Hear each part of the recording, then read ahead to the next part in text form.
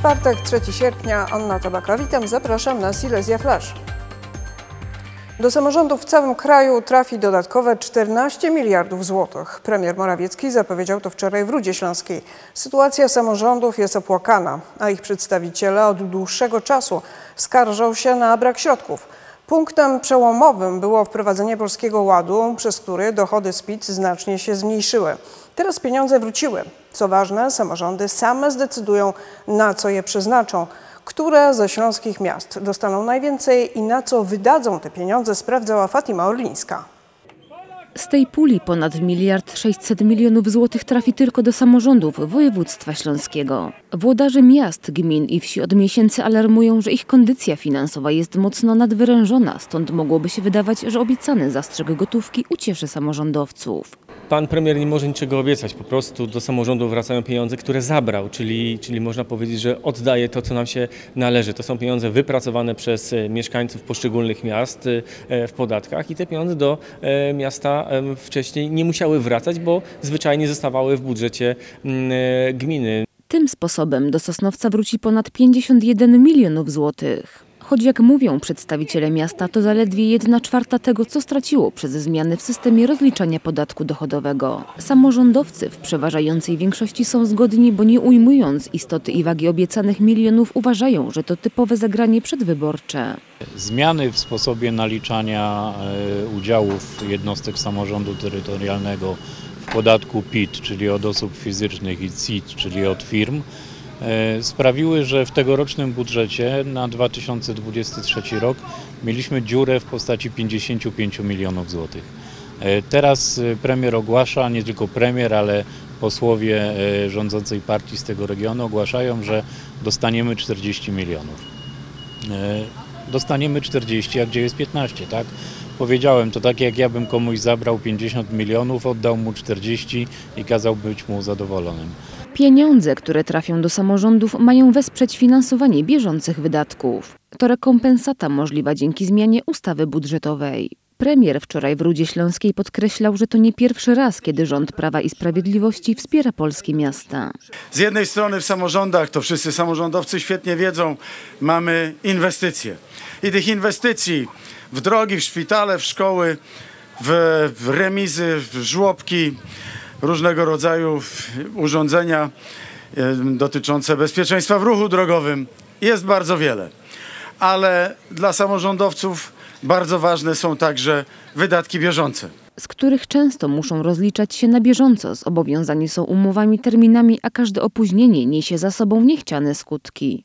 Wielu przedstawicieli miast podkreśla, że miliony, które mają trafić do samorządowych kas, tak naprawdę pozwolą uregulować płatności niemal podstawowe, takie jak opłaty za media, wynagrodzenia dla nauczycieli i powiązać koniec z końcem. W pierwszej kolejności cierpią inwestycje, tak? bo jeśli nie mamy pieniędzy, to inwestycji nie, nie realizujemy i to jest spory problem. Mamy 80 placówek szkolnych, przedszkolnych, budynków administracji, które musimy stale dbać o nie, musimy inwestować w nie. No, brak środków w samorządach to gorsze warunki dla naszych dzieci w szkołach. Do Chorzowa ma trafić 40 milionów, podobnie do Dąbrowy Górniczej. Ponad 51 milionów ma otrzymać Rybnik, który wielokrotnie czuł się pomijany przez rząd w przydzielaniu dodatkowych środków samorządom. Dlatego miasto ostrożnie podchodzi do obietnic premiera i wydatki będzie planować dopiero wtedy, gdy pieniądze trafią na konto. W sumie Rybnik na zmianach podatkowych stracił blisko 107 milionów złotych. Według deklaracji szefa polskiego rządu pieniądze do miast mają trafić jeszcze w sierpniu.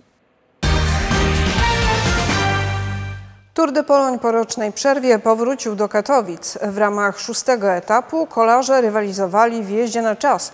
Start etapu był zlokalizowany przy ulicy Olimpijskiej, a meta przy katowickim spotku. I choć od rana w regionie padał deszcz, to nie zniechęciło to fanów kolarstwa do tego, aby pojawić się w centrum Katowic i dopingować. Przyszli także ci, którzy nie interesują się tym sportem. Nie jestem fanem kolarstwa, ale z uwagi na to, że jestem mieszkańcem Katowic, no nie, żal nie skorzystać z takiej okazji, żeby zobaczyć troszkę światowego sportu. No co, rozrywki trochę ze tego marnego życia, niespokojnego, wszystko się kłócą moje lata, tak to trochę rozrywki. Fajnie, że takie imprezy są organizowane w Katowicach? Bardzo, bardzo, bardzo powinno być więcej takich imprez. No to impreza superowa. Szósty etap to zupełnie co innego niż wszystkie inne wyścigu Tour de Pologne. Tu kolarze startowali pojedynczo i do pokonania mieli stosunkowo krótki, bo mierzący niespełna 17 km odcinek. Dla władz Katowic organizacja Tour de Pologne to okazja do promocji miasta, nie tylko w kraju, także za granicą. Co jest jeszcze ważnego? No oczywiście taki element, który promuje używanie roweru nie tylko jako rekreacji, ale też właśnie do sportu, czy nawet jako ym, środka komunikacji. Tak więc bardzo się cieszymy, że mieszkańcom, tym, którzy kochają rower, ci, tym, którzy jeżdżą na rowerach codziennie, tym, którzy też uprawiają ten sport, możemy zaprezentować profesjonalne ściganie w, podczas właśnie Tour de Pologne. To nie pierwszy raz, gdy Tour de Pologne przyjeżdża do Katowic. Do tej pory kibice mogli tu oglądać m.in. metę etapu. Po Tour de Pologne jak przygotowujemy, no to chcemy dawać emocje, a tutaj Katowice, cały Śląsk jest przecież wielka aglomeracja ludzi, e, widać wszędzie tłumy, tłumy ludzi, wielką radość i stąd właśnie jesteśmy tak blisko z Katowicami, chcemy zawsze tutaj przyjechać tym etapem, nie, nie tylko dając emocje, ale też promować ten region, jak się tu wszystko zmienia. Zobaczmy Katowice, piękne, zielone. Na ogół Polacy sami my myślimy, o Katowice to ciemno, za e, pełno pyłu węglowego i tak dalej, a tu jest naprawdę jedno z piękniejszych zielonych miast w Europie. Jutro ostatni etap 80. wyścigu Tour de Pologne. Kolarze pojadą z Zabrza do Krakowa. Szczury nękają lokatorów na osiedlu Tysiąclecia w Katowicach. Ludzie skarżą się na gryzonie, które można zobaczyć w biały dzień, nie tylko przy śmietnikach, ale także w piwnicach. Martwe leżą również w pobliżu budynków. Z mieszkańcami największego katowickiego osiedla rozmawiała Karolina Komada. Jak ja tutaj chodzę, to tu raz byłem w tym śmietniku, to tutaj były cztery takie duże szczury, których zaraz stąd uciekł. Mieszkańcy tysiąclecia skarżą się na powracający problem. Tutaj na tysiąclecia 4 w tym bloku tutaj moja, mieszka moja siostra i niejednokrotnie byliśmy świadkami, kiedy sobie tutaj przy śmietnikach latały. To też jest wina społeczeństwa, że te śmieci po prostu tak sobie rozrzucają. E, osób e, bezdomnych, które przychodzą i wszystko po prostu z tych śmietników wyciągają i to gdzieś tutaj sobie leży. To jest nagminne. Pan Janusz jest mieszkańcem jednego z największych osiedli w kraju od ponad 20 lat. To nie pierwszy raz, kiedy ten rejon zmaga się ze szczurami.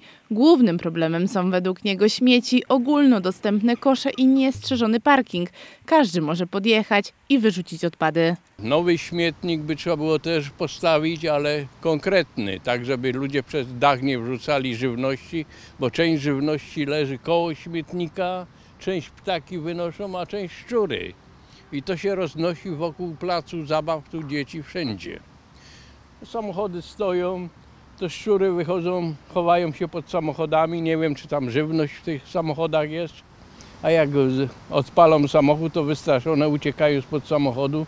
A te je rozjeżdżają. Resztki przejechanych szczurów są na przykład dookoła tysiąclecia 4 i pomimo skarg mieszkańców zarząd przekonuje, że regularnie przeprowadza akcje deratyzacyjne. Nie jest nowy i on się objawia okresowo z większą lub mniejszą intensywnością.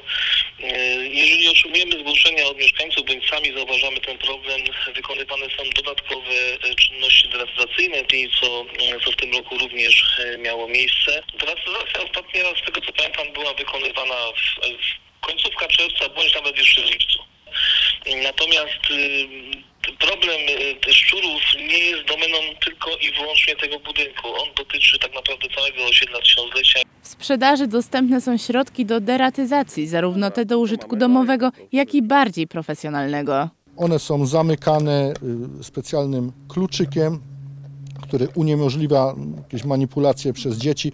Wiadomo, że jak ktoś się uprze, nie wiem, weźmie jakiegoś łoma i tak dalej, to też to otworzy, prawda, ale to nie na tym to polega. Tu chodzi o to, żeby w środku w czymś takim po prostu były y, rodentycydy wyłożone, Według specjalistów takie karmniki deratyzacyjne mogłyby rozwiązać problem, a koło śmietników powinny być zamontowane na stałe, aby wspomóc obowiązkową deratyzację w większych miastach. Jest powszechna akcja deratyzacyjna. Ona jest zazwyczaj ogłaszana na wiosnę i na jesień i to polega na tym, że właśnie w te, tego typu miejscach jak budynki, piwnice w budynkach, śmietniki, tego typu miejsca wyłożyć trutkę, po określonym czasie po prostu trzeba to zebrać i, i na tym polega akcja dehydratacyjna. Oczywiście w międzyczasie, jak są jakieś martwe gryzonie, trzeba je po prostu zebrać.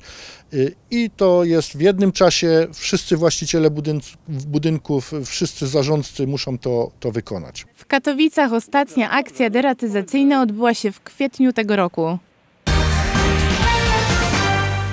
Trzy duże imprezy hokejowe w ciągu najbliższych miesięcy w Sosnowcu. To na stadionie zimowym w ArcelorMittal Parku odbędą się turniej niepodległości, Mistrzostwa Świata do lat 18, no i to co najważniejsze, czyli prekwalifikacje olimpijskie. Paweł Jędrusik. To w Sosnowcu okaże się, czy reprezentacja Polski w hokeju na lodzie po latach wystąpi w zimowych Igrzyskach Olimpijskich we Włoszech w 2026 roku. Będzie nam miło tutaj zagościć, y, zagrać przed tą publicznością.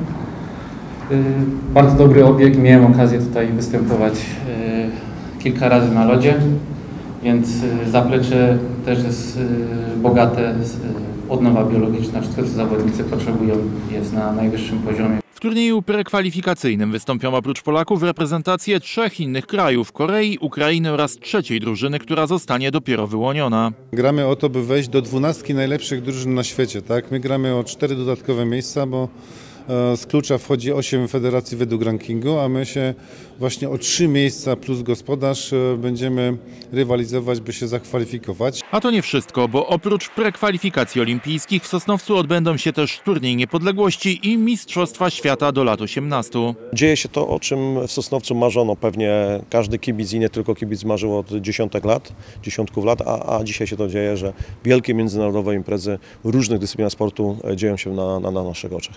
Prekwalifikacje olimpijskie odbędą się w lutym przyszłego roku.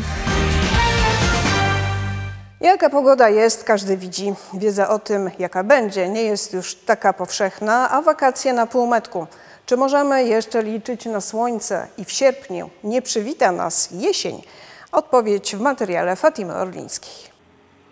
Prawdopodobnie wszyscy zastanawiamy się, co takiego wydarzyło się w pogodzie, że środek lata przyniósł znaczący spadek temperatury. Od ponad 30-stopniowych upałów jeszcze kilka dni temu do zaledwie 17 stopni w czwartkowe południe. Jak tłumaczy ekspert, wszystko za sprawą Niżu Patrycja z nad Skandynawii. Czy to oznacza koniec lata? No niestety tu mam złe informacje dla fanów gorącego lata. Najbliższe dni przyniosą nam e, niskie temperatury. W weekend czeka nas e, po raz pierwszy od dość dawna załamanie e, pogody, bo do tej pory weekendy w lipcu mieliśmy bardzo ładne. Ten pierwszy, pierwszy sierpniowy weekend będzie fatalny. Z południa nadejdzie bardzo deszczowy niż pochodzenia śródziemnomorskiego i taki niż przynosi ze sobą zawsze bardzo silne opady.